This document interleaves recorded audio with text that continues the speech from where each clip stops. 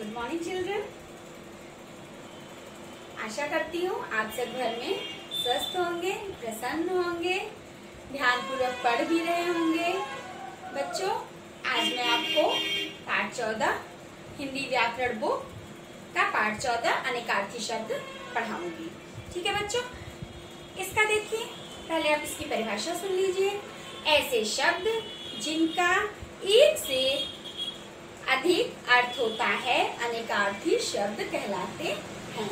ऐसे शब्द जिनका एक से अधिक अर्थ होता है, अनेकार्थी शब्द कहलाते हैं। जैसे बच्चे, मान लीजिए है, एक शब्द है मत।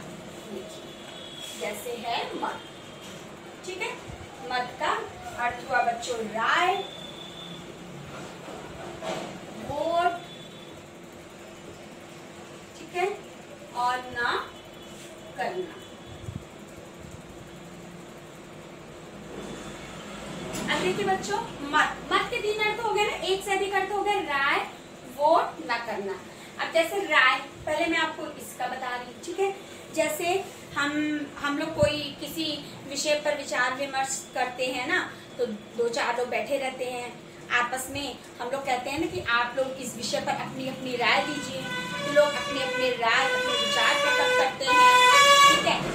हो गया मत। अब दूसरा अर्थ हो गया बच्चों वोट जैसे मतदान होता है ना बच्चों जब किसी का चुनाव होता है तो उसमें वोट पड़ता है। मैं आपको सबसे सरल भाषा में बताना चाहूँगी जब कभी कैप्टन का चुनाव होता है हमारे स्कूल में तो हमारे आ, फादर जी क्या कहते हैं कि, कि आप लोग को चुनाव करने के लिए कि कुछ बच, जो बच्चे ये दीदी को वोट देना चाहते हैं वो हाथ ऊपर करें, जो बच्चे ये दीदी भैया को वोट देना चाहते हैं, हाथ ऊपर करें, बोलते हैं ना तो उसमें जितने बच्चों का वोट सबसे ज़्यादा रहता है तो उन्हें उस दीदी भैया को कैप्टन, थोड़े कम वोट जिनके रहते हैं, उनको वाइस कैप्टन चुन लिया जाता है। मैं आशा करती हूँ बच्चों की मेरे इस एग्ज़ाम्पल से आपको वोट का मतलब समझ में आया होगा। ऐसे ही चुनाव होता है। है ना बच्चों? तो वो हो गया मतदान, उसी को कहते हैं वोट। फिर हो गया न करना जैसे हम लोग कभी कभी नहीं कर कहते हैं कि ये काम मत करो। मत करो मतलब न करना, ये काम नहीं करो। ठीक है बच्चों, अब हो गया जैसे आम, मान लीजिए फॉर एग्ज़ाम्पल आम शब्द है है ना? तो आम शब्द हो गया एक साथ एक फल हो गया आम का, आम मैंगो गर्मी में जो रहता है, आता है है ना? जो सारे बच्चों को बहुत पसंद होता है तो वो हो गया आम एक आम का अर्थ हो गया एक फल और हो गया साधारण। हम बोलते नहीं है, वो बहुत आम इंसान है, यानी बहुत साधारण इंसान है। उसके विचार बहुत साधारण हैं, ये हो गया आम बच्चों। ठीक है, अब हम इसका माय चिल्ड्रन अब आप अभ्यास कार्य का प्रश्न नंबर वन देखिए। पद, देखिए मैंने यहाँ लिखा है पद। पद के दो शब्द, दो अर्थ लिखने आपको। ठीक है तो पद का एक अर्थ हो गया बच्चों, पैर। ठीक है पैर आप समझ रहे हैं। दूसरा अर्थ हो गया, उपाधि। लोग कहते हैं ना, वो बहुत अच्छे पद पर है। बहुत अच्छे पद पर है, यानी बहुत अच्छे पोस्ट पर है, बहुत अच्छी उपाधि पर है। ठीक है? अब है अंक अंक का अर्थ होता है बच्चों, बोध।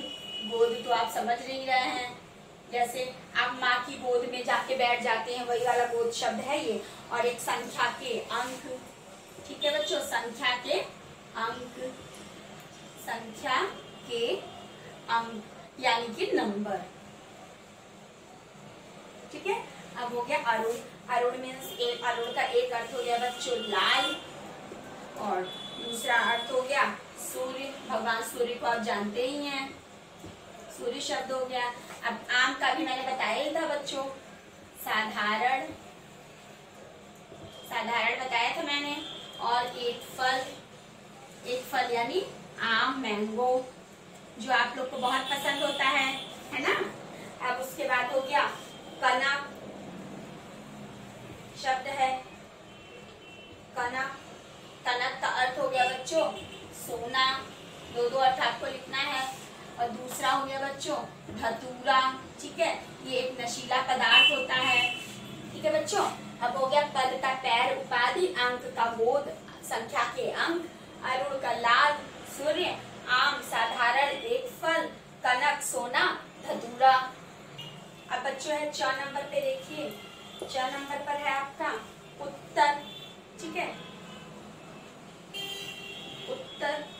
उत्तर के दो अर्थ लिखने हैं। इसका एक अर्थ हो जाएगा, एक दिशा। ठीक है बच्चों? एक दिशा। और दूसरा अर्थ हो जाएगा जवाब। प्रश्न का उत्तर होता है ना प्रश्नों के उत्तर दीजिए। वैसे ही हो गया जवाब। अब है बच्चों प्रश्न नंबर दो। इसमें है नीचे दिए गए अनिकार्थी शब्दों के वाक्य बनाकर उनके अर्थ स्पष्ट कीजिए। अब इनमें अब, अब बच्चों ये शब्द से हमें दो अलग अलग तरीके का वाक्य बनाना है ठीक है? जैसे देखिए वार शब्द है। क्या है? वार। ठीक है बच्चों वार। अब वार से हम एक अर्थ बनाएँगे। वार का एक अर्थ हो जाता है बच्चों, जैसे दिन, रविवार, सोमवार, मंगलवार हो गया ना तो आप इसमें वाक्य बना लीजिए, आज रविवार है। ठीक है? आज रविवार है। एक अर्थ हो गया, एक वाक्य बन गया बच्चों। अब हम दूसरा वाक्य बना लेंगे इससे, वार से। दूसरा वाक्य बनाएँगे, भारत, पाकिस्तान ने भारत पर हमला किया। वार मतलब हमला आक्रमण वाला हो गया, ठीक है बच्चों? पाकिस्तान ने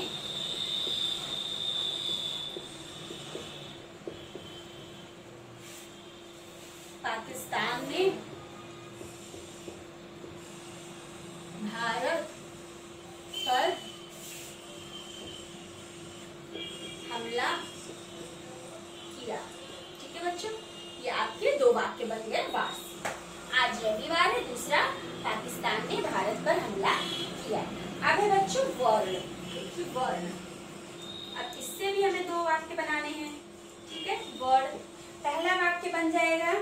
वर्ण का बगीचे में अनेक वर्ण के फूल खिले हैं। वर्ण मीन्स रंग, ठीक है?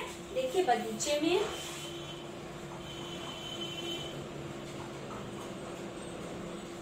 बगीचे में अनेक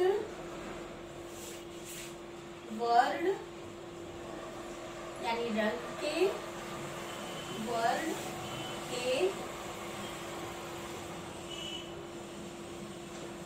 फूल खिले हैं ठीक है बच्चों बगीचे में अनेक वर्ण के फूल खिले हैं देखिए बच्चों इसका नंबर वन मैंने यहाँ लिख दिया नंबर टू मैं यहाँ लिख दे रही हूँ वर्ण का ही है बच्चों ये ठीक है? अब एक वर्ड हो गया अक्षर। क अक्षर के बाद ख आता है। अब देखिए, ऐसे आप लिख लीजिए। क अक्षर। ठीक है? यानी वर्ड के बाद ख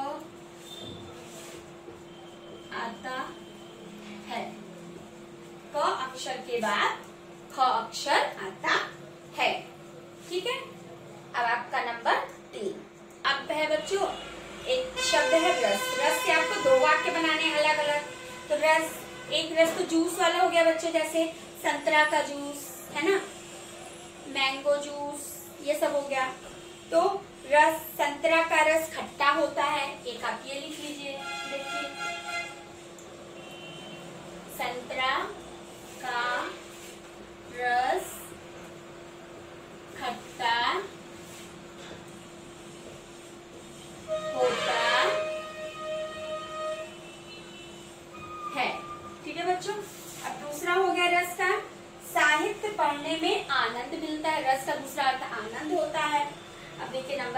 आपका ये हो गया अब आपका नंबर दो यहाँ है।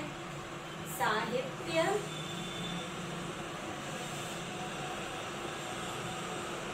पढ़ने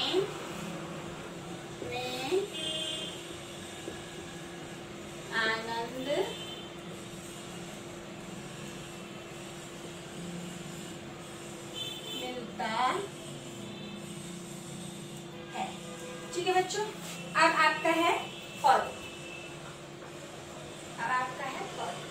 इससे आप पहला वाक्य बनाएँगे। हाथी के चार पैर होते। पद का मैंने आपको बताया था ना कि पैर होता है। तो आप लिख दीजिए। हाथी के चार पैर होते ठीक है बच्चों? अब नंबर दो पर आप लिख लिख दीजिए। महात्मा गांधी को राष्ट्रपिता की उपाधि मिली।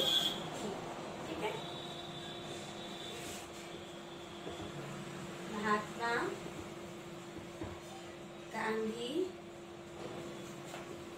जी को मैं जी यहाँ लिख दे रही हूँ बच्चों, ठीक है? महात्मा गांधी जी को राष्ट्रपिता